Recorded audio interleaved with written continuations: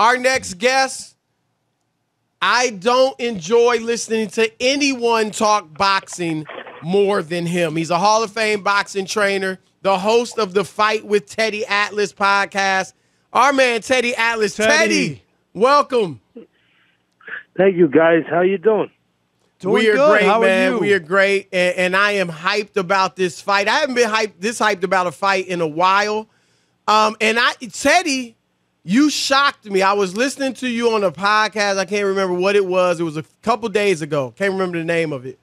You picked Wilder, so you got me thinking. Okay, maybe because I've been thinking Fury all along.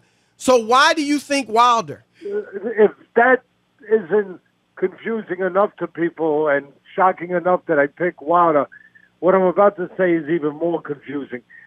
Fury is no doubt the better fighter. I mean, he's more dimensional. He's just more solid in every area. He's shown that he can box. He's shown that he can back you up. He can walk you down. He's shown that he's got a great chin. Um, he could overcome things. He's probably mentally stronger. Uh, probably no doubt about it than Wilder. I can't see Fury making the the kind of excuses that Wilder Right. made after that loss. loss. I mean, it, it's not what a champion does. You know, a champion loses with dignity, and then they come back. But they don't make those kind of excuses. They face things. That's what makes them a champion by facing things. But yet again, he's got that Wilder being he. He's got that one thing that you can't coach, that you can't teach. You know, punches are born. They're, they're not made. And um, he's got that great eraser. Now, look, I say it all the time on ESPN, on my podcast. You have to have a delivery system that works, you know, to make that power mean something. You know, my mentor, the great Cus D'Amato, he used to say, hey, Teddy, if you don't have a, having a great punch is like having a great military weapon, a, a bomb, an explosion, an explosion, but explosive. But if you don't have a means to get it to the target, it has no military value to it. You know, all it does hmm. is blow up, make a hole in the ground, and when it rains, you go swimming. And that that's the thing. He's got a new trainer. I know the old saying, old dogs don't learn new tricks, but hopefully for his sake he learned a little something. And I mean little. Like keeping balance, like using your jab at the right distance, like throwing a right hand without losing, without falling in, out of position. If if he's learned some physical, technical things, some of those tangible things that are learnable, then I think that he has a chance because of what I'm about to say. Remember that sometimes movies they really relate to real life in their own way. And remember that I think it was the third Rocky when when he was getting ready to fight Clubber Lang, and Mickey, his trainer, said, "I don't want the fight." And he said, "What are you talking about? I'm champion of the world. I beat everybody. There's going to be no problem." He said, "I don't want the fight." Finally, he, he forced Mickey to say, "Look, they were set up. Those guys who were fighting were set up, kid. This guy will knock you into tomorrow." And and then when he said that, that Rocky said, "You mean, you mean I didn't beat anybody? You beat guys, but they were handpicked." And all of a sudden, he went from being heavyweight champ of the world to not knowing if he was ever heavyweight champ of the world. He had no hmm. identity. That is powerful. That that is redemption, but that is that is so strong. In other words, really, you look at Wilder. He fought nobody. He fought Ortiz. Ortiz was a decent fighter, but he was 40 years old. Other than that, if we're going to be honest about it, they were putting pins up like in a bowling alley, and he was knocking them over. And Right. and now he's got to deal with the realization that, hey, maybe I was never heavyweight champ. That's what he, right now, what he is seeking is not a title. It is not money. It is his identity. Who am hmm. I? Was I ever a champion of the world? Can I walk down the street and ever feel like a champion of the world or a guy who fought a bunch of setups? So for me, that's very powerful. And Wow. that's That- why I'm picking Wilder. Teddy, let me That's ask rich. you with with all the multiple COVID delays and just you know uh, the the distance between the, the second fight and the third fight and what's going on. Does that take the edge off of anything, or or no? You know, not for the fighters because obviously they want to get there, but just the fight and like how people view it. Say that again. I'm sorry. Yeah, I was just saying, like all the delays in this fight from COVID and different stuff. Does it take some of the edge off of this fight, or no? Yeah, no. Listen, that's that's a variable. That's an intangible. That's okay. a tremendous point on your part, and you know, I it, it changes things. You, where, how, what, we don't know exactly, but I felt, and this could change it against the guy I'm picking because I felt when the fight was originally planned to happen that Wilder was ready. I thought he was mentally and physically ready for that fight. And all of a sudden, the fight was changed. You know what counts now, to your point? What did they do after that? Did they take a break? If I'm the trainer, he's taking a break. He's not going right into another camp because that's how you lose it. That's how you leave it in camp. That's how you get overtrained. So that's very interesting, and that is that is floating out there above this whole fight. Is did Wilder take a break? Is, is he in the kind of condition, mentally and physically, he was at that time? And on the other side of the coin, Fury, did he get enough time off to fully recover from COVID and get a proper right. training camp? Well, now, now, Teddy, his trainer said he was coming in 20 pounds heavier than the the second fight. Is that a good thing for Fury or a bad thing?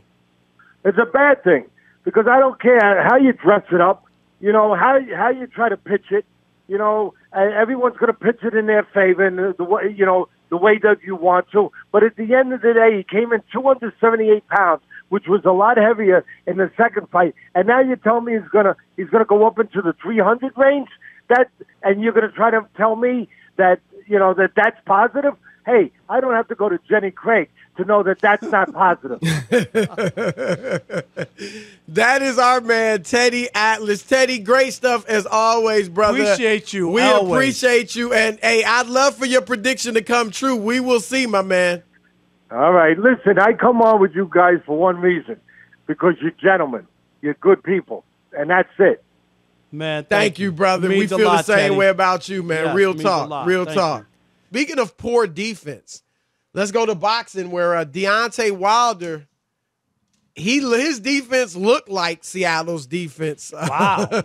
in his fight against uh, the second fight against Tyson Fury. And uh, tomorrow night, they get it on for the third time, Rob. The first one was a draw. Uh, Fury knocked, I'm sorry, Wilder knocked Fury down twice did you think that, that, was fight. a draw? That one, that that because you remember we were down in uh, downtown L.A. for the press we conference. We yeah. interviewed. And, and did you right. go to the fight? Because Rob I and I, Rob G yeah, and I went, went, to the fight. Right. I, yeah, had, we, I was we out of town that weekend. I actually thought Wilder. I know he got outboxed and all that, but he knocked him down twice. When you knock somebody down, it's a 10-8 round.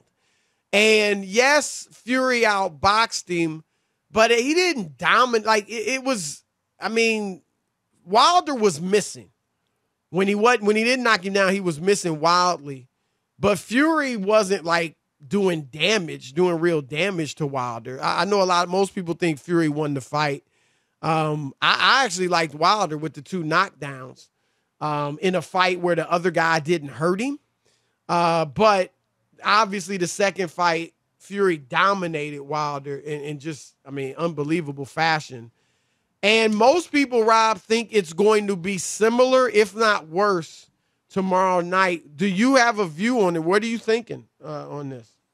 I, I, don't know. I was interested in, in Teddy Atlas's, uh, you know, analysis that, that we had just, yesterday. He picked, uh, and he picked, he picked Wilder, and and you and most people are picking Fury, right? I mean, the yes. Masses. Although I was on with Skip Bayless today on Undisputed, he picked Wilder. He in, did. I think a ninth or tenth round knockout. I believe ninth. Um, I, I, think Rob Shannon and I picked Fury. I picked Fury in a unanimous decision. And here's my thinking: like I, I don't. Most people say Wilder's only got a puncher's chance, and I get that. And Fury or and Fury's going to demolish him if he doesn't get knocked out. I don't think it's that simple because I think there's question marks uh, surrounding each fighter that really make this intriguing. As far as Fury goes, he had COVID, Rob, in the summer, and and I think he had it twice. So has he fully recovered from the COVID? Uh, did that impact him in his training? And that that's what I was asking Atlas yesterday. Right. You know what I mean? With all the delays, Chris, and everything. Is he all the way back? Did he put in all the work that he needed to? Will that impact him going forward? That these are questions we really don't know. do we? Right. Well, Rob, there were rumors coming out of his training camp before he the fight was postponed because of his COVID that he wasn't looking good. And uh and we'll see if that's true. But we know he's entering the fight. Uh, his trainer said yesterday he'll be 20 pounds above what he was in Twenty pounds. 20 pounds. Now, Rob G, they had to weigh in the day. He was what, 277? Okay, and he fought at 273, I believe, in the second fight. So that's only a few pounds heavier. So only four Um, pounds. But so then it's not he's gonna pick up right. weight. He's gonna pick up weight, you know, as he, you know, gets this water back. And you know, you you you kind of eat up after your weight. No, in. no, no. I know. I've, So I've seen those guys to make ring, weight. yeah. right, Right, To make right. weight, it's unbelievable. And he didn't have to make any weight as a heavyweight, obviously, but he'll make he'll he'll probably pick up some pounds by the time they enter the ring. Um, but does is he what kind of shape's he in, Rob? He didn't want the fight. Not that he was afraid of Fury uh, of Wilder, obviously, but he was looking at Anthony Joshua. Wilder had to basically force him to take this fight because what it said in the contract. And you wonder, is he taking Wilder lightly? Does he think it's going to be an easy victory? And maybe he's not as sharp as he was in the second fight. So those are the questions surrounding Fury. As far as Wilder, it's the demons, Rob. You know, the history of boxing is that bullies who've knocked everybody out for years have not responded well to being knocked out themselves in a first loss. We can go back to Sonny Liston against Ali at that well, they're time. not used to Clay. right. They're not used to tasting canvas, Right. So it's a shocker. It really is, right? and it, it, it rocks your whole world because your whole identity in most of these guys is is on you're the biggest baddest man on the planet to use Tyson, Mike Tyson's words. And once that's taken away from you, who are you? Well, everything you had confidence in has been taken away from you. So what's left? We saw it with Liston. We saw it with George Foreman, who came back, but it was 10 years later in a an Apostle Paul type religious conversion to for to him to get his mind straight. And then we we saw it with Mike Tyson. Going to the octagon, we saw it with Ronda Rousey. Roy Jones wasn't a bully type fighter. He was dominant and undefeated, but he was never the same after Antonio Tarver beat him. It's one thing, Rob, if you lose early in your career, right? Right. Because you got no choice, right? If you want to be a boxer, you got to bounce back. But once you've been dominating everybody and you lose later in your career, it's got to be tough to bounce back. I bet you So, uh, Floyd would probably quit after he if he said he got knocked knocked. You know what I mean? Like It'd could be he, interesting, Rob, because I don't some think this people, late in the game. Do you know what I mean? That he yeah, would, he well, he he's would- smart enough not to fight anybody dangerous. No, no. You know what I mean? I'm just saying. Say if he got knocked out, I don't know if he would come back. If he got knocked out, here's the thing though. Roy Jones, who used to be, I, I won't say reluctant to fight, but he was just, you know, he was, you know, remember this? He was playing basketball games. he played for the. USBL. Yeah, on the Yeah. day of a fight. Like he was toying with dudes and wasn't, you know, pressing for fights. Once he got knocked out, all he wanted to do was fight. And so I don't know if uh, Floyd, I don't think it's going to happen because Floyd's smarter than that. But yeah, so we'll see. Uh, I got Fury in a unanimous decision, 12 rounds. But we'll see if uh, Wilder became. I'm gonna go with boxer. Wilder only because of Teddy Atlas. No, I love Teddy, and that that made me think, Rob. No, I'm That just, that right. definitely got a brother thinking. So uh, I, I definitely respect Teddy's boxing knowledge. All right, uh, I, want to say this, and Teddy Atlas brought it up yesterday. Like the one of the big storylines here is Wilder saying he, he got a new trainer. We know he had all types of excuses, and he blamed Mark Breland, who was a great fighter in his own right. Rob, you remember Mark Breland? Breland, And, are um, you kidding? Gold, Oh yeah, gloves. Yep, yep. And he I was a followed his whole trainer career. For uh, Wilder, and I'm sure he did a good job. And I thought he was right to throw in the towel. Wilder, I give Wilder credit because he was a warrior and wanted to keep fighting, but he was getting demolished. and he wasn't about to come back and win that No, fight. your corner man has to do that for you, Chris. Yep. They can't let keep leave you out there to get hurt. I'm Right. sorry. Absolutely. And so, uh, but he got rid of Breland and hired Malik Scott, Rob, who is was a fighter. And I don't know if you noticed, Wilder actually beat Malik Scott back in I think 2014, knocked him out. And uh, he ends up hiring Malik Scott to be his trainer because Scott was kind of a boxer, you know, a skilled guy. And so their goal was to reinvent Wilder and give him more boxing skills. Now, obviously, he's not going to become Sugar Ray Leonard in a matter of 19 months or ever. Let's just keep it real. But as Teddy Atlas said, can he develop the rudimentary boxing skills? Like Rob, he looked like he had no boxing skills in, in the second fight. He couldn't avoid uh, Fury's punches.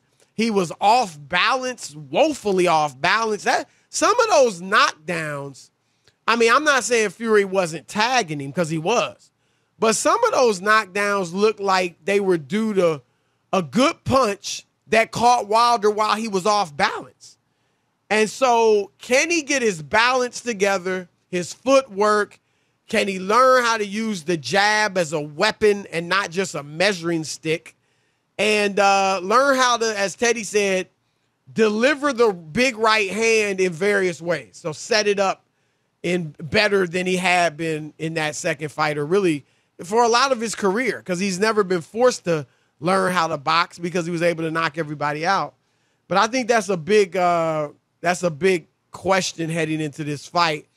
And we'll see tomorrow night if he can do a little bit of boxing to aid him in that big right hand. All right, let's get to these calls. 877-99 on Fox if you want to jump in. Nate in uh, Austin, Texas. You're on the Odd Couple Fox Sports Radio. What up, Nate? Hey guys, how you doing? Doing Good, man. How are you? I'm good. It's Nate from Austin, the weekly caller. Uh, man, so glad Yeah. you guys are covering this topic. I'm very passionate about it. I feel like Breland uh, did Wilder a disservice. If you Mm. watch the end of that fight again, listen, Wilder was exchanging punches with him. He was not done. And I think a little bit of stamina, Wilder is going to knock Fury out. I don't know Mm. what round, but he is going to knock him out for sure. Wow. Well, what? Okay, let, stay on. So, keep so Nate you, on you're, because I want to you're hear. on with you're on with Teddy Atlas. You you believe What is Teddy. your explanation for what happened in the second fight? I get it. And Wilder was, he still had his wits about him. He definitely wanted to fight. I give he's got heart and courage for sure. Yeah, but but, But also he was Breland's getting a, a former fighter, Chris. He know he No, I, know I, I agree with the stoppage, but I'm just saying like Wilder w- wanted to keep. It wasn't like some guys who just have nothing left. And, exactly. You know, he had a so, lot of fight left in him. It, it Yeah. all it was was stamina. If he just gets his stamina up a little bit, I mean, I still don't think they should have they should have pulled him. I think he still could have won that fight. If you go back and look at the last two fights, who's been on the on the canvas more, Fury or Wilder? It's not even close. Well, well, no, because Fury went down twice in the first fight. The second fight, Wilder went down like six times. What was it, Rob? Did you check? It was like uh, multiple times. I That's don't think why it was six times, Chris, but maybe I mean, it was listen, Wi- four. It was. it was Wilder has the power to knock out Fury. He just needs a little more stamina. And I felt like he wasn't done in fight two. I feel like he's a better fighter. Fury's confidence is going to get in his way in fight three. He's going to leave his big old head out there to get hit too many times, and he's going to go down. All right, All right, hey, we'll see. thanks, well, he was knocked down twice. He was knocked down. Wilder was only knocked down twice. Man, it seemed like he was on the canvas about six times, if I remember that fight.